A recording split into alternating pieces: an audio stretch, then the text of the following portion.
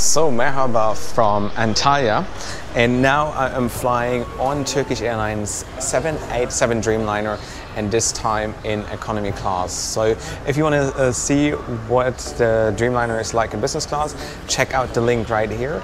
And now I'm going to give you a quick nice uh, review of their new economy class product on the Dreamliner. So let's go back to Istanbul.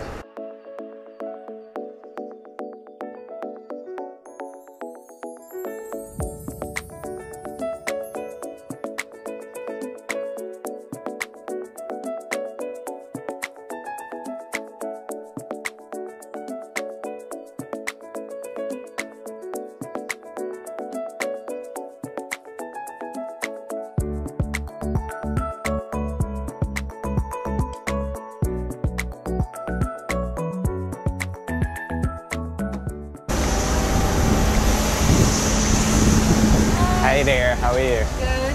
I think you were. Yeah, just going back. Well, it's in the business class. Yeah, this now? time now I'm, now I'm testing the economy class.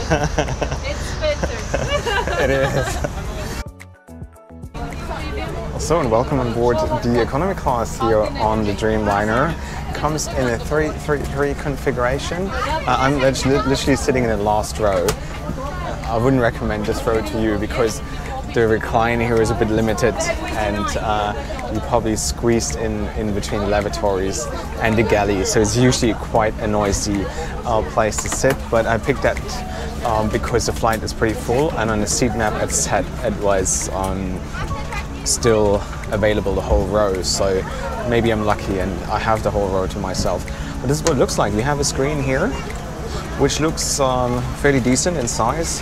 USB audio jack, a table, you've got reading materials all right here.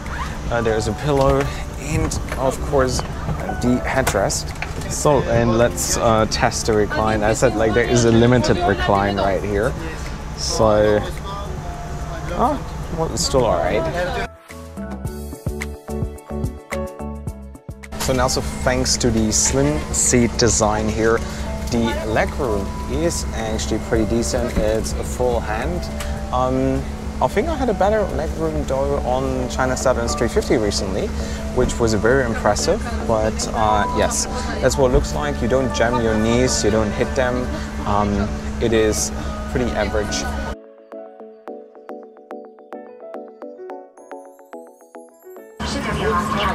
Oxygen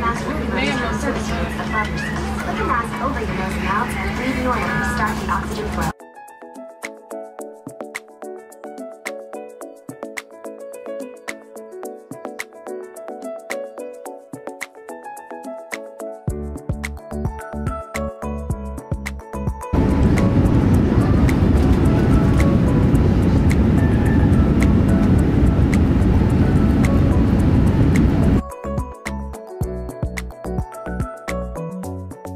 They give out cheese sandwiches, really hot.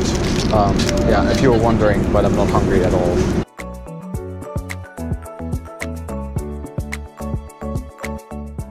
So and now expect a comprehensive bathroom review. So, table, toilet,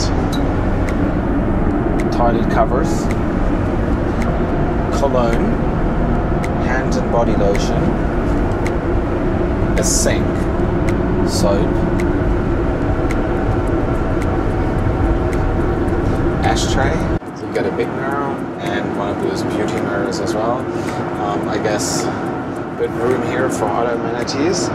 And I don't know whether you know that everything you flush down here at the sink is directly disposed, so it leaves the aircraft as you're in the air. So back in the days, they would just uh, when they had coffee left over or whatever, they would just spill it here um, into the into the sink, but it would create like brown like stripes and spots and stains underneath uh, on the belly of the aircraft. So they don't do this anymore. But yeah, if you whatever there is, whatever goes into the toilet goes into a tank. So don't worry about it. It's not like that they drop poo out of the sky. It's not that bad. Maybe they used to though. I don't know. Yeah, but this is the bathroom. Still looks looks very clean. Obviously, the first flight. But what I do like is the cologne.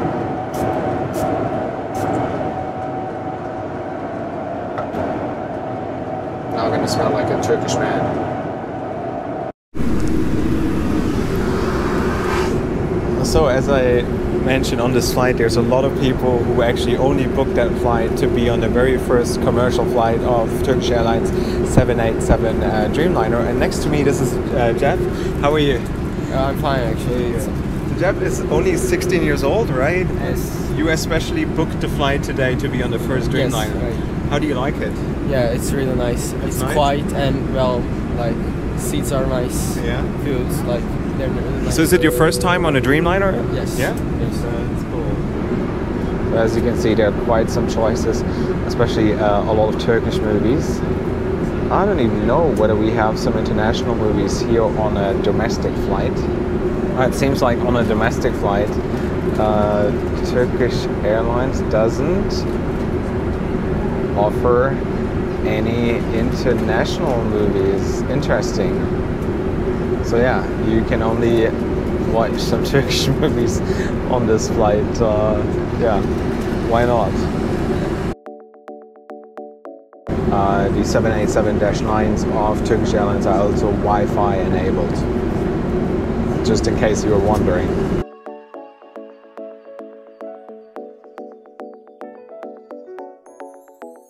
I must say that they already have a very decent economy class product on the 777, um, as well as on their uh, Airbus 230s. So um, it's really hard to improve this product. So, um, but it is what you would expect from Turkish Airlines. It comes with a great in-flight entertainment. Of course, as I said, with uh, Turkish Airlines and the catering, it's always uh, a hit, not a miss. Uh, that is something that stands out with Turkish Airlines. But um, Otherwise, the seats are slim seats. The legroom is just uh, just about right. You have the headrest here, um, so it comes with all the features you already know from uh, the 777 plus. Uh, the in-flight Wi-Fi, and then of course on top of that, with the Dreamliner, you get all the perks of the new generation aircraft. For example, the bigger, wider windows, uh, the air conditioning on here, the reduced ca- uh, the cabin pressure, which makes you all feel less fatigue, um, especially in a long haul flight, 15 hours. I mean, those the, this plane can stay in the air for like 16 hours. Can you imagine that?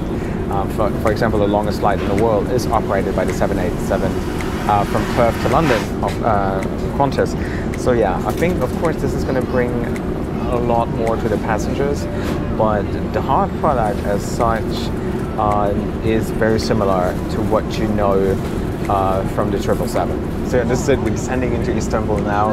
This was my uh, Turkish Airlines Dreamliner review in economy class. Uh, if it was helpful, please give it a like. Uh, subscribe to my channel if you haven't yet. Let me know in the comment section below what you think of Turkish Airlines uh, Dreamliner and new economy class. I mean, the Dreamliner is new, the economy class doesn't feature too much new things. Um, but yeah, thank, uh, as always, thank you so much for watching, and as usual, safe travels, guys.